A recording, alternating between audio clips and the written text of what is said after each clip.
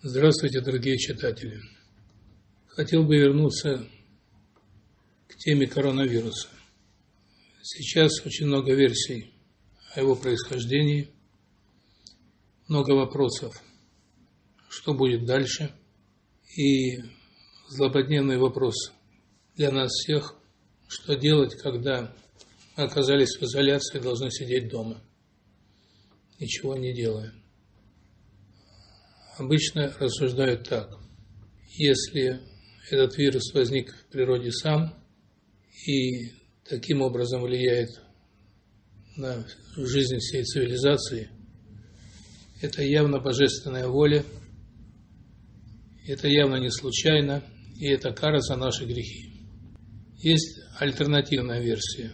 Этот вирус создан в лабораториях, и значит это уже, говоря простым языком, не божественная воля, а воля человека. Есть самое продвинутое мнение о том, что мировая элита решила таким образом реализовать свои планы по сокращению населения Земли. И это только тренировка. Дальше будут более серьезные меры.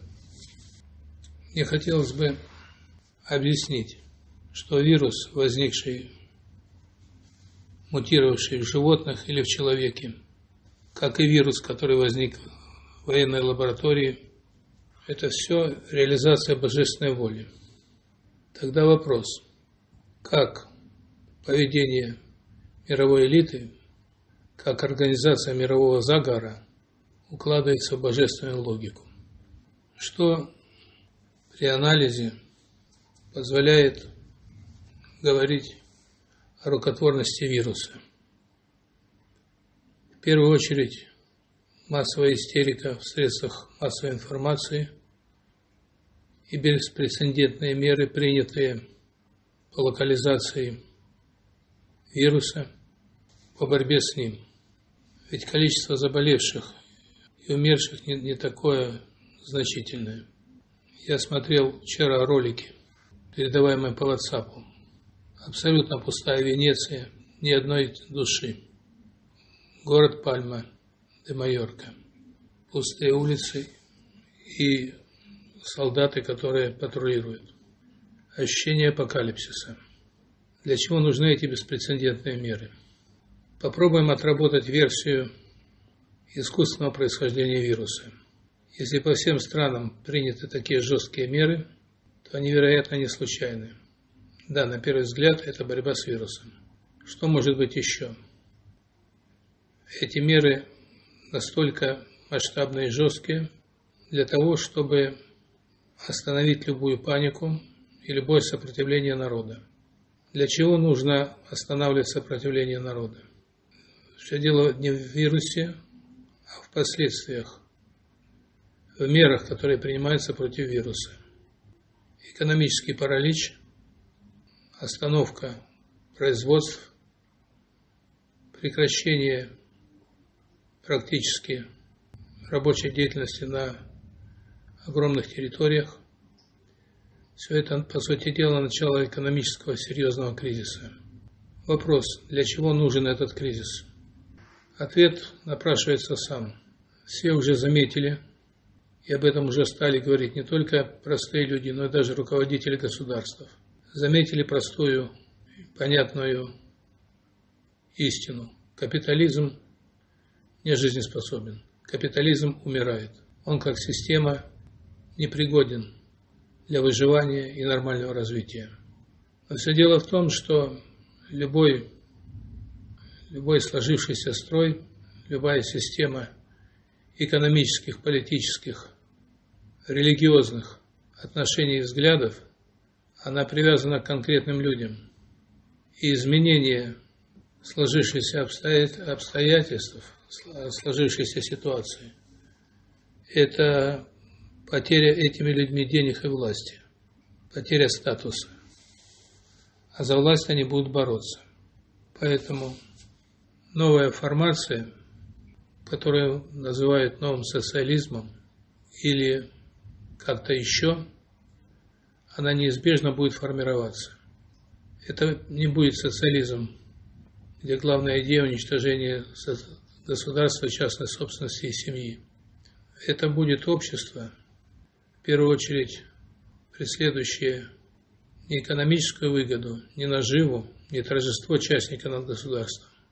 Это будет общество, где нравственность, вера интересы общества будут стоять на первом месте. По форме это будет похоже на социализм. По сути, это будет система, соединяющая противоположности, то есть индивидуальное и коллективное мышление. Если говорить в общем, то капитализм – это торжество индивидуального мышления, фактически уничтожением коллективного. Как выглядит апофеоз капитализма? Как фашизм, когда узкая группа людей, в конечном счете один человек, владеют, стоят над законом, владеют жизнями, свободой и деньгами всех остальных. Социализм – это торжество коллективного мышления с уничтожением индивидуального мышления, частной собственности. К чему это приводит? Как ни странно, к тому же самому. Только коллективная собственность, она лишена возможности индивидуума иметь какой-то вес, какое-то значение. Если устранена частная собственность, то владельцем государственной собственности становится группа лиц, имеющих все полномочия. Таким образом, если проанализировать будущее социализма и капитализма в их классическом исполнении, то мы видим одинаковый результат и в том, и в другом случае. Почему? А потому что и капитализм, и социализм – это формации с языческим мышлением. Язычник живет крайностями. Либо добро, либо зло. Либо белое, либо черное. Либо коллективное мышление, либо индивидуальное. И вот это отсутствие диалектики обрекает людей при любом строе, при любой формации, при любых отношениях на рабовладельческие отношения в конечном счете. Языческая система координат подразумевает рабовладельческие отношения. Один должен быть господином, другой должен быть рабом. Либо раб, либо господин. Для того, если, для того, чтобы люди почувствовали равенство, нужно понять простую вещь. Равенство невозможно, потому что именно неравенство является условием развития, борьба противоположностей. Но равенство невозможно снаружи, на поверхности. Должно быть равенством по сути, равенством перед нравственным законом, равенством в воспитании детей, в образовании. То есть такие аспекты, как нравственность, обеспечение детей, образование, развитие. На этом уровне привилегий не должно быть. Это отдельный разговор, каким должно быть общество будущего. В любом случае оно должно быть нравственным, а нравственность – это вера в Бога, это единобожие, поскольку единобожие позволяет человеку развиваться без жестких принудительных мер. Язычник может жить только в системе постоянного принуждения. Войны, болезни, несчастья, насилие – это естественные механизмы развития человека с языческим мышлением. Если человечество не перейдет в систему координат единобожия, оно обречено на фашизм, поголовное рабство и самоликвидацию. Потому что языческое государство в конечном счете неизбежно пройдет путь к Содоме и Гоморе. Таким образом, ни капитализм в своем классическом исполнении, ни социализм – ни любая другая общественная формация, исповедующая языческое мышление, не дадут возможности выжить человечеству. Ну а теперь обратимся к капитализму. Какие главные проблемы у этого строя? Суть капитализма – это есть поклонение деньгам. Христос говорил, нельзя поклоняться Богу и Мамоне. Суть капитализма – поклонение благополучию. Судный процент – с моей точки зрения, это не самая страшная вещь. Самая страшная вещь, когда деньги, которые являются кровеносной системой государства, принадлежат частным собственникам. Если государство берет процент за деньги, которые занимает человек, это одно. Если берет частник, это другое. Так вот, государственное мышление работает в интересах всех. А главная цель частника не благосостояние народа, а чистая прибыль. Поэтому у любого частного предпринимателя, в принципе, всегда будет тенденция к криминальному мышлению, где деньги на первом плане, а нравственность на втором или на третьем. Главная проблема нынешнего капитализма – это кризис перепроизводства, слишком много товаров. Практически в Америке перестали покупать, потому что полное кредитование. Не надо даже никаких э, делать первых взносов. Любые, так сказать, возможности кредитования уже исчерпаны. Люди уже накупили все, что могли купить. Кризис перепроизводства всегда назывался одной из главных проблем капитализма. Сейчас этот кризис подошел к максимальной, так сказать, красной черте, после которой все должно остановиться. Это первое. Второе. Деньги являются стимулятором, условием, так сказать, торговых отношений и стимулятором развития, если они даются в кредит. Но те же деньги могут из стимулятора превратиться в наркотик, если они выдаются бесконтрольно и если этих денег слишком много. По оценкам специалистов, все, так сказать, вся экономическая мощь нынешней цивилизации оценивается 100 триллионов долларов. А в мире гуляет около 600 триллионов, напечатанных в Америке. То есть кризис перепроизводства не только товаров, но и денег – Плюс планета уже не справляется с количеством людей, населяющих ее. Какие должны быть цели у капиталистов, у мировой верхушки, которые хотят сохранить свое положение и спасти капитализм? Нужно сделать три вещи. Нужно остановить производство, чтобы товаров выпускалось меньше какое-то время. Нужно сжечь деньги избыточные – для этого должен быть кризис, остановка экономики, опять же. И нужно сократить население Земли. Опять же, экономические кризисы могут привести к тому, что население сократится. Есть будет нечего, и вряд ли любая семья захочет иметь много детей. Как этого добиться? Одно из самых эффективных средств – это война. Но сейчас война которую пытались развязать. Сейчас она слишком опасна и менее эффективна. Идеальным в этом случае является серьезная причина, позволяющая остановить экономику. И в этом плане вирус весьма и весьма удобен для реализации планов мировой элиты. Тогда вопрос, а как же здесь божественная воля? А смысл божественной воли заключается в том, что если человек не хочет меняться, его нужно к этому принуждать. Подумаем не только о человеческой логике, но о логике божественной. С человеческой точки зрения все понятно. Вопрос. А что нужно Богу от нас? Для чего вот все это происходит? Для того, чтобы перейти в единобожие, измениться и стать другим человеком, нужно перестать поклоняться Мамоне. Напомню, что Мамона – это не бог денег. Это идол, символ и бог благополучия, удовольствия, наслаждения, и в том числе денег. То есть это божок поклонения своим инстинктам, в первую очередь инстинкту самосохранения. Значит, для того, чтобы люди поднялись над инстинктом самосохранения – он должен быть унижен. Я приводил пример с людьми, которые находятся на корабле во время шторма. Эта статистика известна. Практически всегда она работает. До шторма где-то 30% на корабле верующих, 30% атеистов и 40% сомневающихся. Во время шторма 100% верующих, все молятся. После шторма 30% верующих, 30% атеистов, 40% сомневающихся. Значит, для того, чтобы люди обратились к Богу, а без устремления к Богу невозможно изменение реально глубинное человека.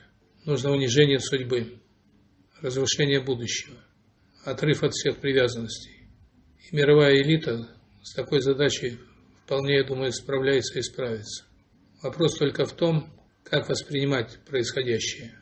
Если поддаваться панике, страхам, озлоблению, унынию, то, как говорится в Библии, для гордого человека испытания впрок не идут. То есть все зависит от того, как мы будем воспринимать происходящее. Насколько мы будем, будем осознавать, что все происходящее сейчас работает на спасение наших душ, насколько мы будем бороться с ситуацией не только снаружи, но и внутри.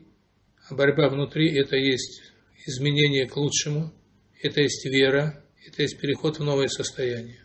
Внешние действия очень важны, но если нет внутренних изменений, внешние действия вряд ли дадут какой-то результат.